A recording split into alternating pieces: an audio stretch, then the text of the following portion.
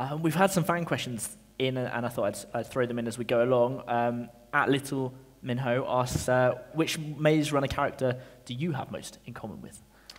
Yes. Um, is Little Minho here? Or is that just it's coming from Twitter, so maybe couldn't make it. Okay, uh, I just love that Twitter name. Yeah.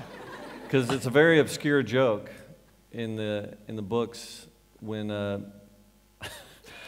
when poor Minho gets kicked in a certain area. uh, Thomas or someone says something like, well, maybe we save the world from little Minhos in the future.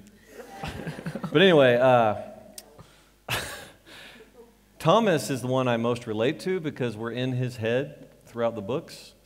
And so I just naturally, you know, he's, he's such a part of me because I'm writing from his perspective.